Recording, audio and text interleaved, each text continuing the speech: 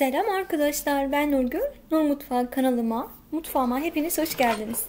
Bugün kızımın tarifini sizlere uyguluyorum arkadaşlar. Kızım söylüyor ben yapıyorum.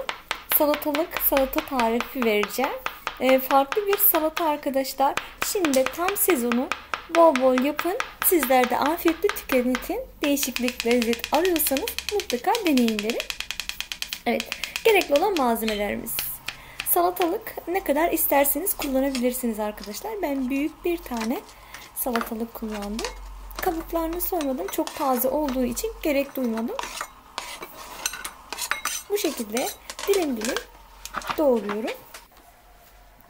İki küçük diş sarımsak rendeliyorum. Baharat olarak dereotu da çok yakışıyor. Dereotu da ekleyebilirsiniz.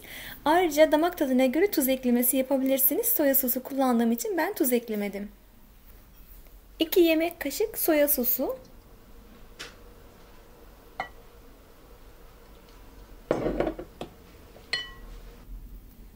İki yemek kaşık elma sirkesi veya beyaz sirke kullanabilirsiniz. Varsa sushi sirkesi de kullanabilirsiniz arkadaşlar. Bir yemek kaşık zeytinyağı. Bir yemek kaşık susam. Hepsini kabıma alıyorum. Güzelce harmanlıyorum. Acı seviyorsanız mutlaka süs biber de içerisine doğrayıp ekleyin arkadaşlar. Ben e, kendi tabağıma sonrasında doğradım. O şekilde e, afiyetle yedim. Çok nefis bir salataydı. Bizler çok beğendik. Umarım sizler de yapınca beğenirsiniz. Evet. Hepsini güzelce harmanladıktan sonra servis tabağıma alıyorum kısırın yanına, köftenin yanına arkadaşlar her türlü ikram edebilirsiniz.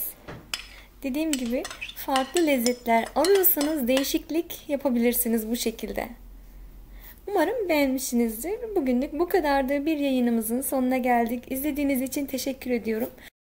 Bana destek vermek için videomu beğenip aşağı yorum bırakmayı lütfen unutmayalım. Ayrıca hala abone değilseniz hemen şimdi abone olarak zil sesini açarak yakından takip edebilirsiniz.